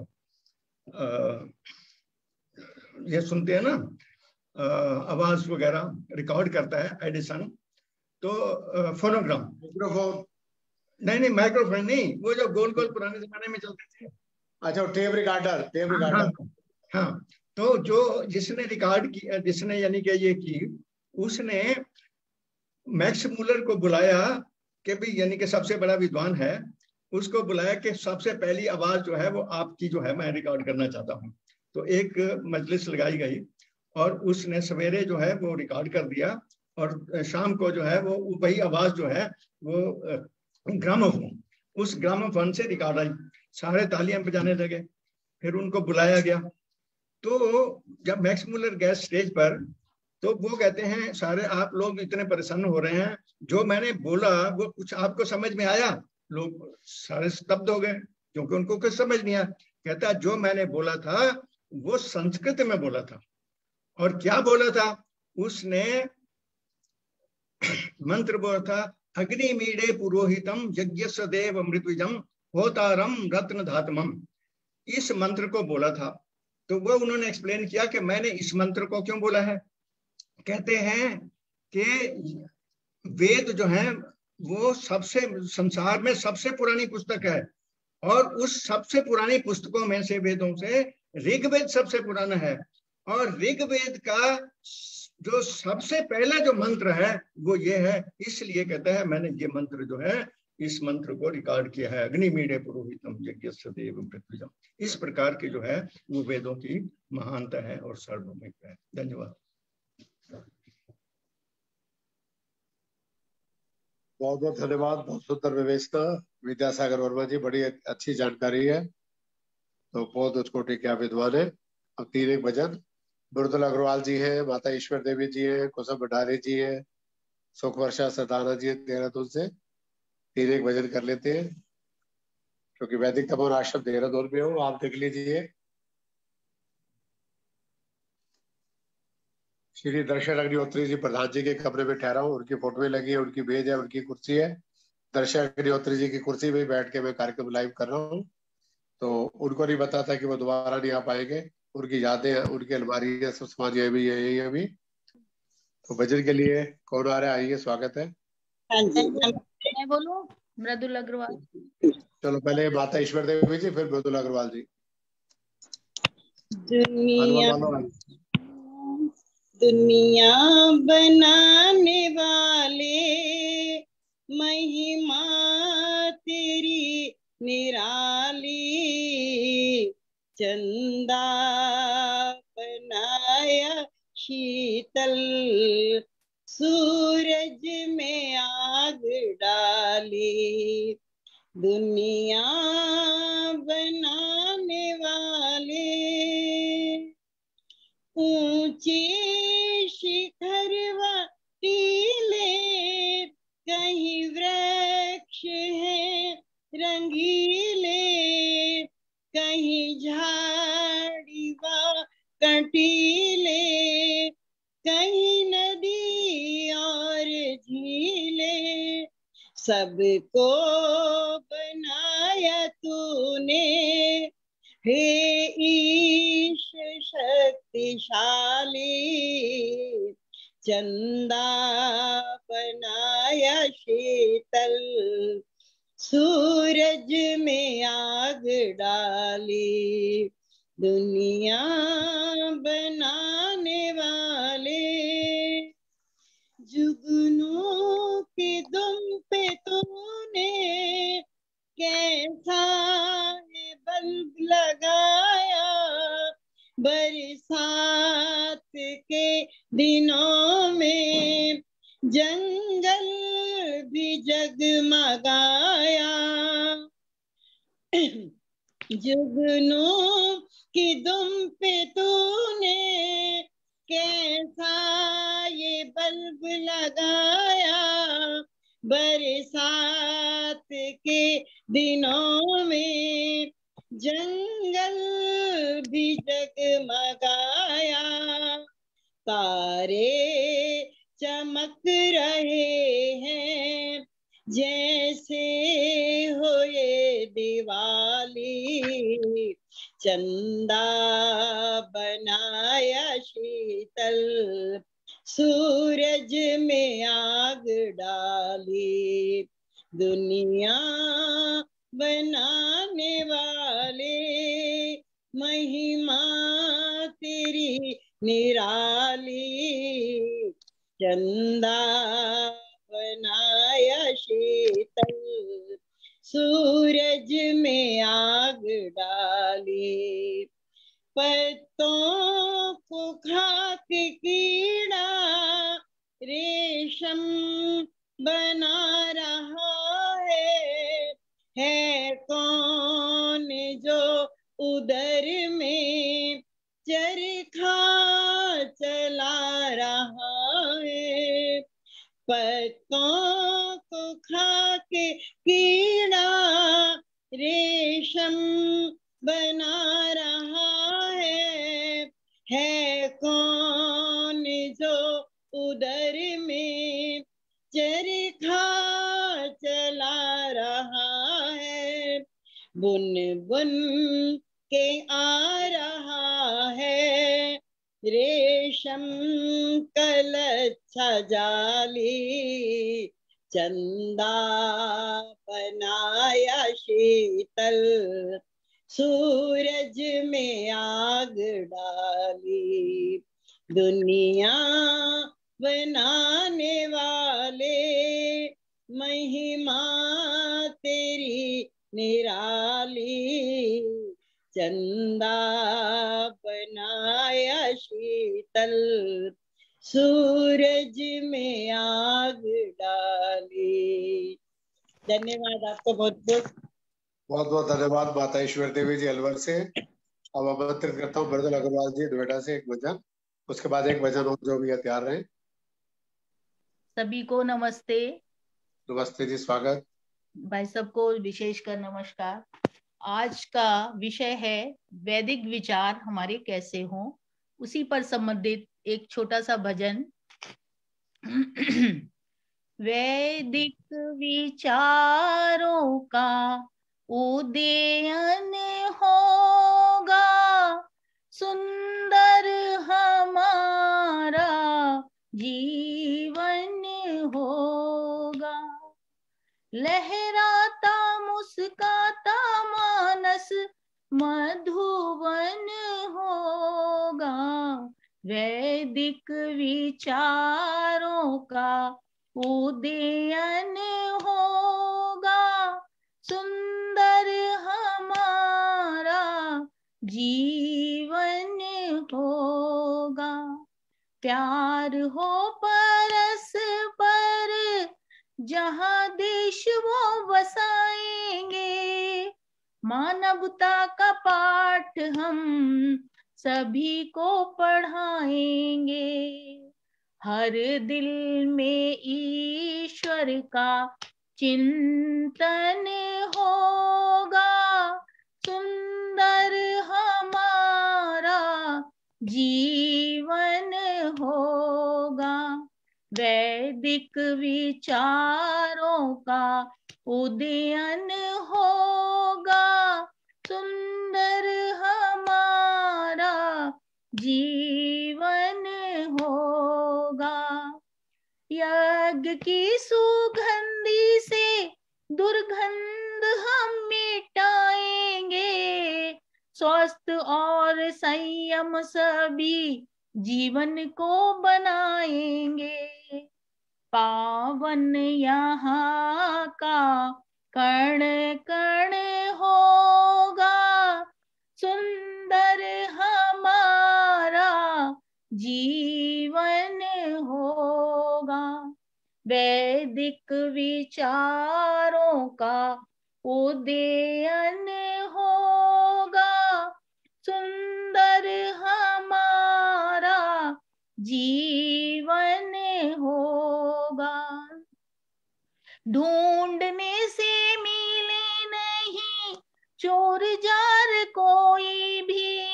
धर्म के विरुद्ध ना हो, व्यवहार कोई भी। सत्य धर्म का पालन होगा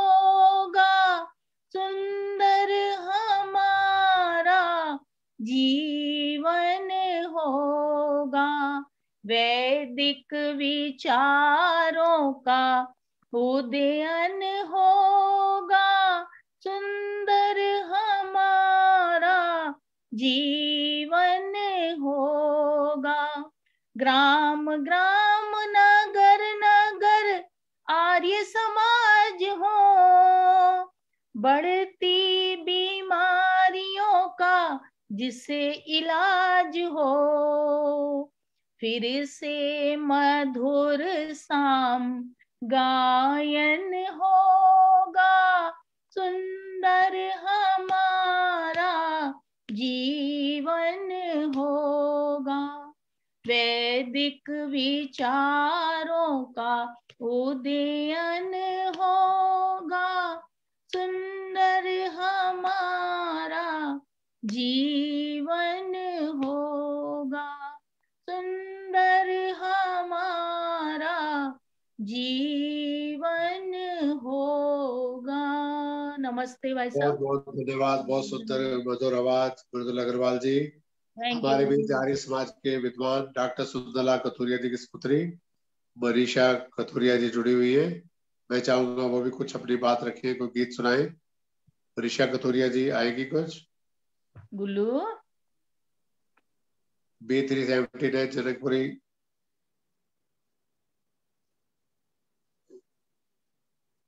चलो रेखा वर्मा जी बोलेगी कुछ? कुसुम जी? आपने किसको बुलाया है? मैंने डॉक्टर सुंदला कथुरिया जी की बिटिया को बुलाया था। हाँ जी चलो रेखा नमस्ते वर्मा जी आ गई रचना वर्मा। की बात सुन लो जी। हाँ जी सभी को सादर नमस्ते जी। नमस्ते जी आइए। दिनेश जी यही रुके हुए हैं।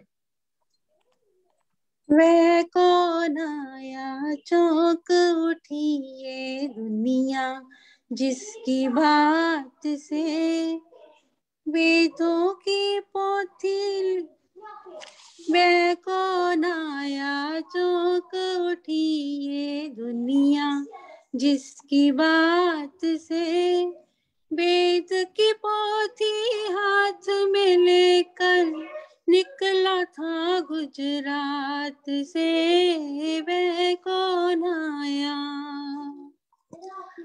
वह कौन आया? चौक उठी ये दुनिया जिसकी बात से। वेद की पोथी हाथ में लेकर निकला था गुजरात से। वह कौन आया?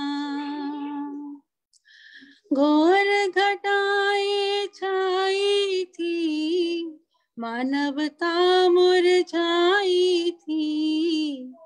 घोर घटाए छाई थी मानवता मुरझाई थी। पाखंडियों ने ढोंग रचा कर खूब करी मन चाही थी। वैदिक पथ का सूरज निकला, टंकारा गुजरात से वह वह कौन आया चौक उठी ये दुनिया, जिसकी बात से वेद की पोथी हाथ में लेकर निकला था गुजरात से। वे को आया? शुक्र जहाँ पर रोते थे रोज भी धर्मी होते थे। धर्म के ठेकेदार जहाँ पर बीज फूट के बोते थे। सबको गले लगा कर तोड़े, बंधन जात पात के, वे को आया वे को नया चौक उठी ये दुनिया जिसकी बात से वेद की पोथी हाथ में लेकर निकला था गुजरात से। वे को नाया क्या कहिए उस आने को? था समझाने को, आया था समझाने को। प्यार किया था प्यार ऋषि ने, और अपने बेगाने को। प्यार किया था प्यार ऋषि ने हर अपने बेगाने को। विष के प्याले पिए सुरेंद्र, जाती तेरे हाथ से वह कौन आया? वह कौन आया चौंक उठी ये दुनिया जिसकी बात से? वेद की पोती हाथ में लेकर निकला था गुजरात से। वह कौन आया? धन्यवाद जी।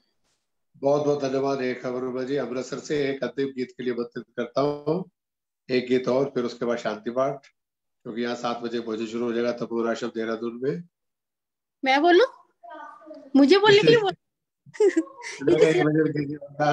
सबका मौका मिल लीजिए ना। सुनेंगे आप। कुशल जी सुपरशा एक भजन और फिर शांति पाठ करते हैं। आचार्य जी मैं मैं बोलूँ भाई साहब हाँ बोलिए जी बोलिए। सभी को मेरा सादर नमन। मैं भी एक ऋषि भजन बोलना चाह रही हूँ। स्वागत है माता निर्वाण दिवस आ रहा है तो ऋषि को याद करते हैं।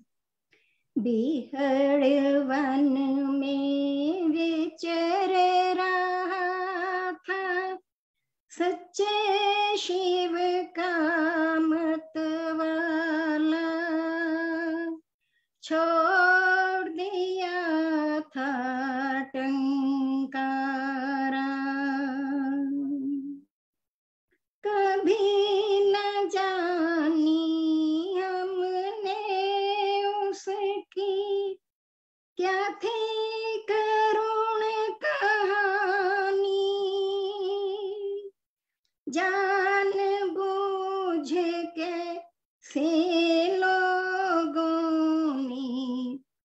उसकी एक न मानी। कांच पीस कर दूध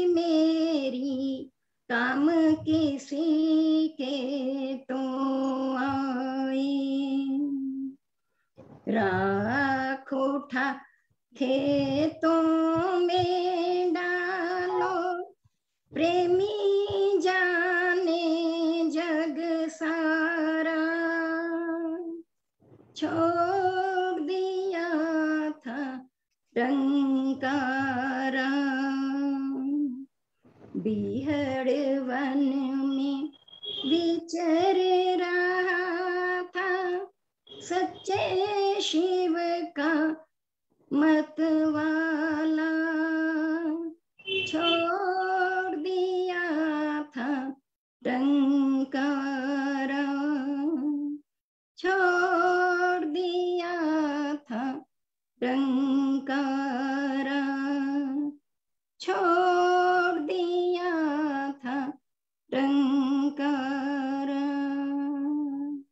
बहुत धन्यवाद। माता सुपर्शा सदाना जी, देहरादून से।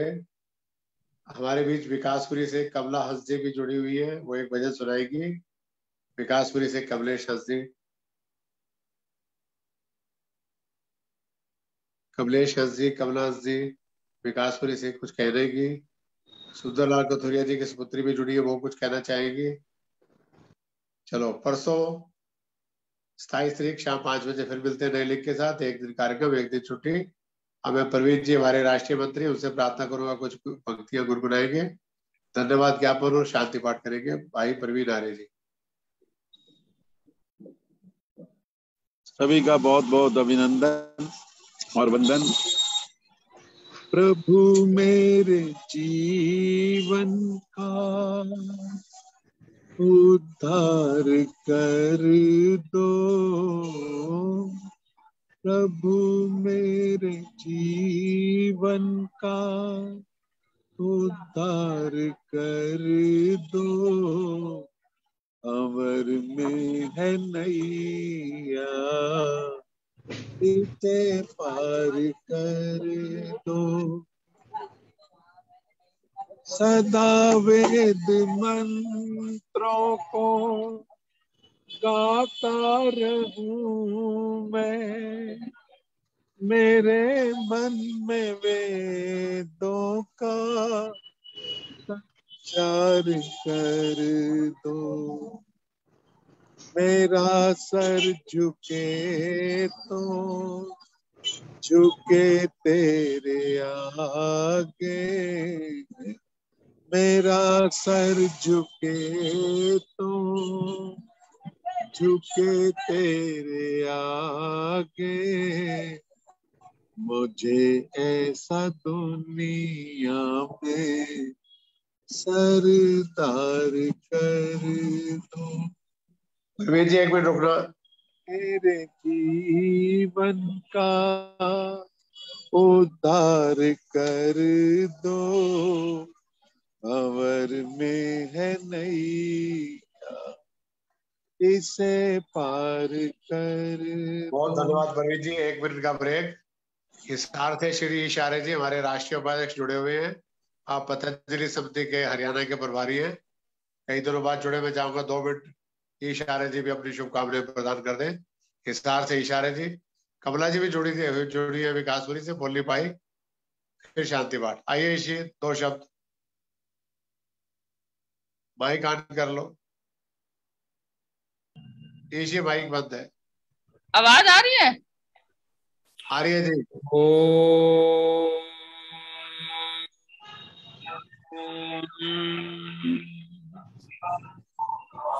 विश्वानि देव सवितुर्दुरितानि परासु यद भद्रम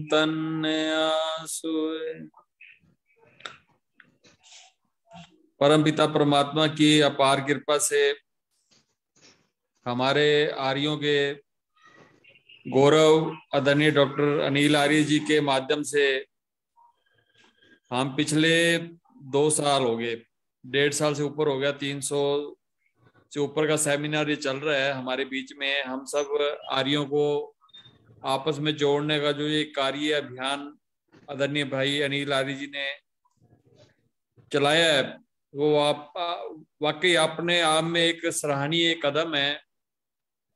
इस संग हम अपने आर्य विचारधारा को आपस में गुनगुना देते हैं, अपने संस्कार हैं, वो बच्चों तक पहुँचा देते हैं।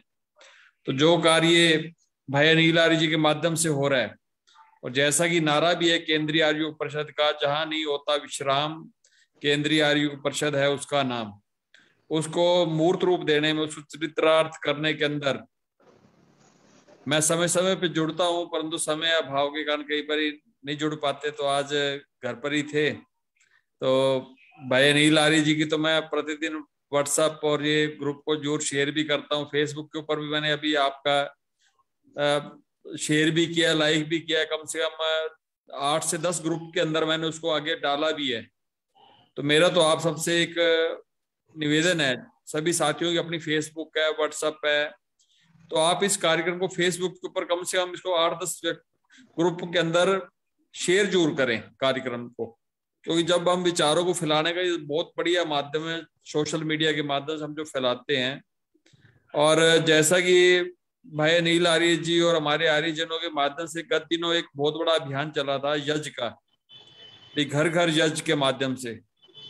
तो मैं तो आदरणीय डॉक्टर अनिल आर्य जी से ये निवेदन करूँगा एक ऐसा अभियान चले कि आर्यों की एक शक्ति का भी प्रदर्शन हो पूरे समाज के अंदर।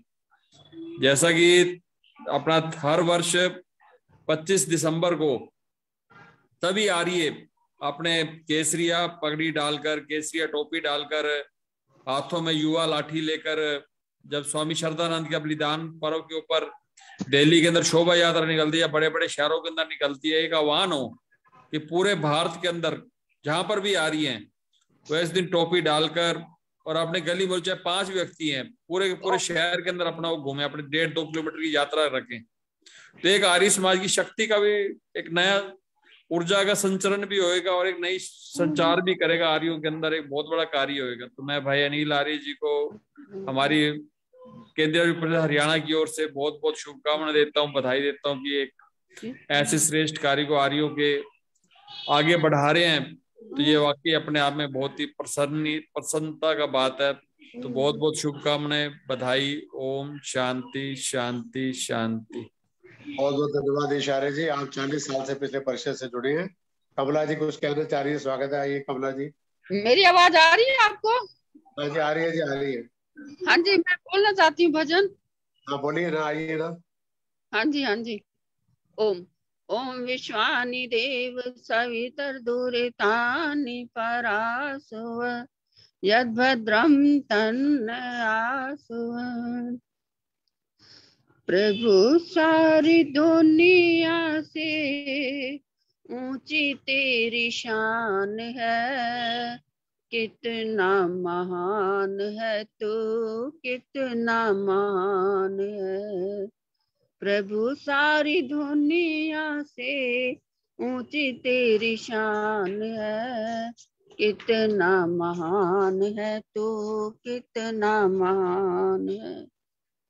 यहाँ वहाँ कोने कोने तो ही मशहूर है। निकट से भी निकट और दूर से भी दूर है। सभी में समाया हुआ सभी में समाया हुआ सकल जहान है। कितना महान है तू, कितना महान है। प्रभु सारी दुनिया से ऊँची तेरी शान है। कितना महान है तू, कितना महान तू ही एक मालिक है सारे कायनात का तो एक मालिक है। सारी कायनात का फूलों भर क्यारियों का, तारों की जमात का, तेरी जमी है, तेरा आसमान है। कितना महान है तू, कितना महान है। प्रभु सारी दुनिया से ऊँची तेरी शान है। कितना महान है तू, कितना महान जितने भी रंग देखे, सभी तेरे रंग हैं। जितने भी रंग देखे, सभी तेरे रंग हैं। सभी को पालने के अलग अलग ढंग हैं सभी को पालने के। अलग अलग ढंग हैं छोटे बड़े सब का छोटे बड़े सब का करता तू ध्यान है, कितना महान है तू, कितना महान है। प्रभु सारी दुनिया से ऊँची तेरी शान है, कितना मान है तू, कितना मान है। जितने भी दुनिया में जीव देहधारी है, जितने भी दुनिया में जीव देहधारी है, सभी तेरे प्यार के ही अधिकारी हैं। सभी तेरे प्यार के ही अधिकारी हैं। पथिक सभी को दिया, तूने वरदान है। कितना महान है तू, कितना महान है। प्रभु सारी दुनिया से ऊँची तेरी शान है। कितना महान है तू कितना महान है ओम ओम। धन्यवाद आपका। जी, बहुत बहुत माता जी कमला जी का धन्यवाद। अब शांति पाठ प्रवीण जी द्वारा। ऑनलाइन उपस्थित भक्ति और शक्ति स्वरूपा, मातृ शक्ति का वंदन और अभिनंदन। वंदन और अभिनंदन। शांति पाठ के साथ ये सभा यहाँ पर संपन्न। ओम द्यौ शान्तिरन्तरिक्षध्वं शान्ति पृथ्वी शान्तिरापा शान्तिरौषधया शान्तिः वनस्पतया शान्तिर्विश्वे देवा शान्ति ब्रह्म शान्ति सर्वत्वं शान्ति शान्तिरेव शान्ति सामा शान्तिरेधि ॐ शान्ति शान्ति शान्ति जो बोले जो बोले। सत्य सनातन वैदिक धर्म की जय। जगत गुरु महर्षि दयानंद की जय। गुरु विवेकानंद जी महाराज की जय। देश और धर्म पर बलिदान होने वाले वीर और वीरांगनाओं की जय। भारत माता की जय। गौ माता का पालन हो। मर्यादा पुरुषोत्तम श्री राम की जय। योगेश्वर श्री कृष्ण की जय। धन्यवाद। नमस्ते सभी बहुत बहुत धन्यवाद। मैं एक बार आज के मुख्य अतिथि विद्यासागर वर्मा जी मुख्य वक्ता हरिओम शास्त्री जी का स्वागत और धन्यवाद करता हूँ। यजवी चौहान जी वेद प्रकाश जी जुड़े नहीं चलो कोई बात नहीं व्यस्तता रही होगी। परसों शाम को फिर मिलते हैं। बहुत बहुत धन्यवाद। नमस्ते जी। नमस्ते जी। नमस्ते जी नमस्ते अनिल आर्य जी। नमस्ते जी। नमस्ते जी। नमस्ते जी परसों मिलती है लिख ये रहेगा सभी को भेजे। आप तो बैठे बड़ा अच्छा प्रोग्राम चला रहे हैं वहाँ से। अनिल जी? भारत में ही बैठे हैं देहरादून राजधानी अच्छा, है बहुत मैंने फेसबुक में देखी है ना फ़ोटो बहुत अच्छा बहुत अच्छा लग रहा है। हम्म। चलो धन्यवाद जी।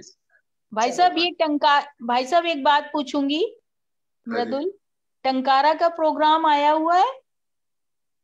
अभी आए नहीं है पूरा विस्तृत जानकारी। अच्छा बता आपकी देंगे। है? हाँ आप बता दीजिएगा। कमरा हाँ ठीक है। चलिए हाँ, धन्यवाद। हाँ